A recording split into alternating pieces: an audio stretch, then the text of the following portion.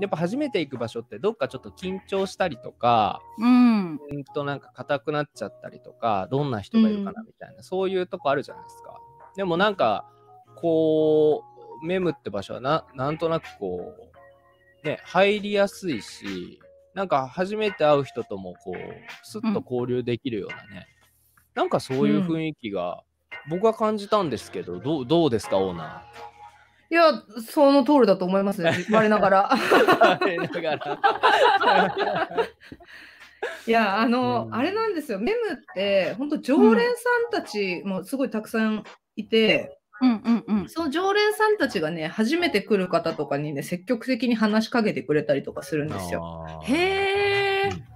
ううんで、そそれはありれ、がたい。うん。でもさ、なんかこう、話しかけられるとうざいなって思う人もいね、当然中にはいて。まあまあ確かに。うん。そうそう。で、そういう人たちが使えるようなプレートも実は用意してあって、今、こう、私たちは、あ私たちっていうか、私は今、あなたとジョイナーしたいですみたいなプレートカードみたいなのが、を置いとけるようにしてあったりとか、いいですね。うんそうそう、なんかまあそういうふうにこう仕組みの工夫でうんうんみんなが仲良くできるようにうんしてます。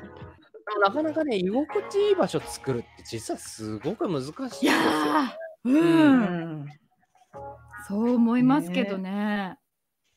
なんかそれこそね、こういうのが居心地の良さでしょっていうのを狙ったところでハマるとも思えないし、うんああ、うん。うん、本当に来た人がほんどう感じてくれるかが全てじゃないですか、居心地の良さって。うんすっげえ言い方悪いけど、こう、狙い重視、コンセプト重視みたいな場所もありますからね。だけど、なかねあなかるある。狙っても作れないんですよ、今言ってたみたいにね。はまらなっかったらね。そうそうそうそう。ねでもなんか流動的な感じがいいんですかね。あの来るお客さんに合わせてなんかこう形を変えてそうな印象を受けるからあ、どうなんだろう。逆に、うん。形は変わってないかもしれない。うんうん誰が来ても、うん。なんか、あ私や店長はそのままなんですよね。ああ、な合わせに行く感じじゃないっていう。うんうんうん合わせに行かないし、あなたも合わせなくていいよっていう感じ。うんうんうんうんうん。そのまま受け入れられる感じがあるんですよね、きっと。そう。で、やっぱり、その、社会的包摂っていうからには、うん。働いてる側の私や店長もほそこの包摂に含まれないとおかしいと思ってて。なるほど。ううんん。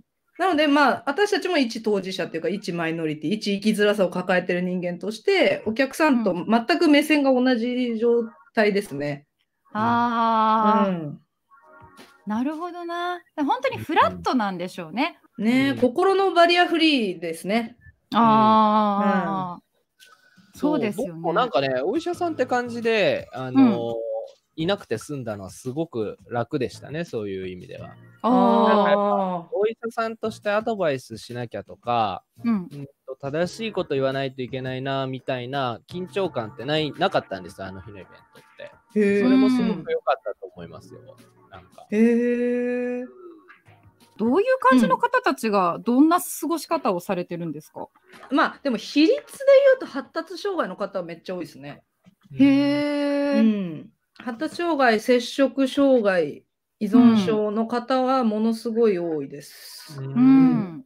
うんっていうのも、あの店長が接触障害の映画の監督をしてるのと、おお、まあ、私が依存症当事者なので、うんまあ、その兼ね合いでこう、まあ、お話ししに来たりだとあか、まあ、自助グループみたいな側面もあるのかもしれないですね。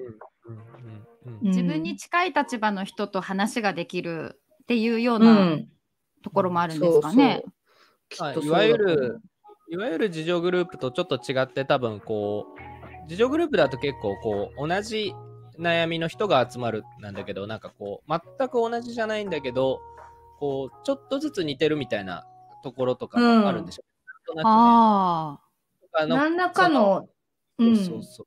だから自助グループだともう、やっぱり目的がそこって言ったらあれだけど、はっきりしてる分、ちょっとニュアンスが違うんだと思うんですけど、メムの場合は、そういうのがなくて、そういう人たちが集まってるっていうのは、すごく貴重な場所ですよね、そういう意味では。いや、ほんとそうだと思います。まあ、講義の、まあ、なんつうの、みんなの共通の、こう、生きづらさっていうテーマとかはあったりはしそうですけどね。うん。うんうん。なんかみんな生きづらそう。ううん。ん。うん、生きづらそうっていうのもあ来るるけど。人たちが。そう。あのなんかやっぱりそのここにいるとあの孤立しないで済むみたいなポロって言ってくださる人もねたくさんいて、はあ。うん、それってななんていうかこう何がいいんだとかってわかります？